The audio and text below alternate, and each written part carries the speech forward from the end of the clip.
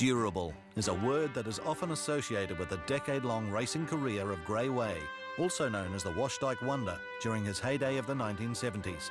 Successful is another apt description, as Grey Way chalked up 51 race wins and established himself as one of the best sprinter milers of the post-war era. Grey Way is plugging on the top weight in great style. He's pulling out that extra that makes him a great horse. He's not in front yet, but he is soon after. And Grey Way has gone to the lead. What a great horse, Grey Way. Match Legend three quarters of a length away, two lengths. Grey Way's breeder was Peter South, who'd been around horses all his life, including 11 years as an amateur jockey.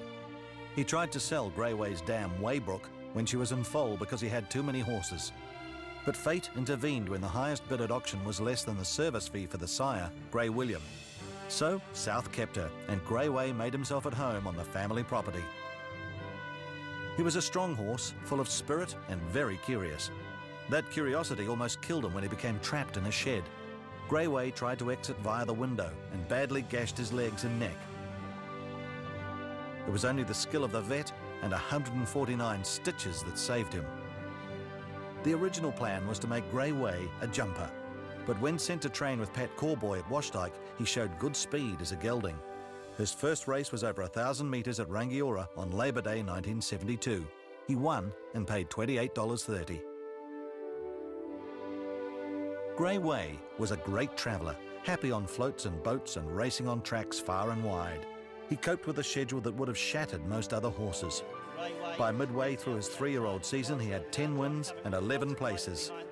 More glory beckoned in a duel with top sprinter King's Romance in the Railway Handicap at Trentham. And on the outside is Grey Way and Bronson right in behind these, followed in by Norelco March on down the outside, but Grey Way's the one in command, Will in command too, and Norelco finishing well on the inside and right on the outside, the favourite King's Romance, and it's Grey Way, Norelco and King's Romance, Grey Way, Norel, King's Romance and Norelco in Bronson. By 1974, Grey Way's charisma was attracting fans to the tracks and the Washdyke stables.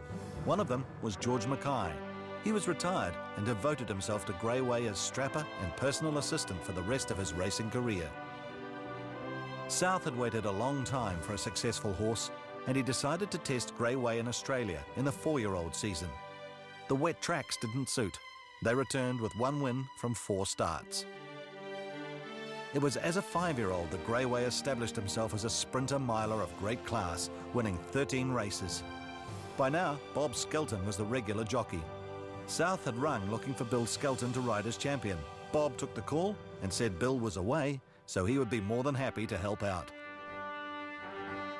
Skelton quickly learned Grey Way's secret to success. He had one sprint in a race, a tremendous short burst that could blow away the opposition. It was a matter of timing it just right, and the battle with Upik in the Awapuni Gold Cup in 1976 was a classic demonstration. Grey Way about a neck away on the inside there. Bob Skelton asking him to lengthen stride. Is he going to? He's going to and he's doing it. Grey Way has levelled up to Upik and Grey Way starting to draw away from Upik. And Grey Way and Bob Skelton go to the line to win it and win it well. A great ride. Followed in second place. It was a course record. Grey Way took four starts to regain his peak form as a six-year-old. He did it in style by beating Showgate at Riccarton.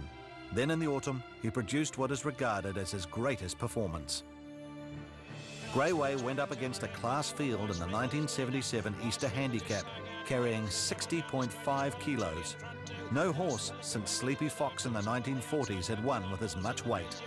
With 100 metres to go, Grey Way had a wall of horses in front of him. Tudor Light flying through on the Sprinkle in command down towards the post. Tudor fired and Tudor Light and here's Grey Way coming with gigantic stride and so is Kiwi Kim and Grey Way has thrust his way through. Now there's a photo. Grey Way, Kiwi Kim by Sprinkle and Pride. A neck covering the five of them. What a fantastic finish. It was Grey Way's first win on a right-hand track and it also helped make him equal top stakes earner for the 1976-77 season with $78,000. Grey Way wasn't the same force as a seven and eight-year-old, but the wins crept up with Snooky Cowan, now regularly in the saddle. The Washdyke Wonder eventually caught up to and passed Black Duke's record of 46 in 1979. By the 10-year-old season, there was a sole aim, one win for the half century. It came in September of 1980 at Geraldine. Retirement followed after two more races, leaving Grey Way with the outstanding record of 51 wins from 159 starts. 49 placings also helped lift his career earnings to $243,000. Grey Way remained just as popular in retirement, and the Souths found a novel way of thanking the many fans who wrote about the champion. The now pure white Grey Way still loved to travel, and along with his faithful strapper George, would make appearances at parades around New Zealand. For those who saw the champion race, and given his longevity and travel habits that would include many race fans in the 1970s, their lasting impression of Grey Way will always be of a champion with a brilliant turn of speed and a fierce desire to win. Come on, but there's Grey Way on the inside and Praxi there's Garuba wending its way through. Grey Way is drawn clear and it's starting to come away close to home. And Grey Way for the Adams, just over a length away. Praxi second, Garuba third.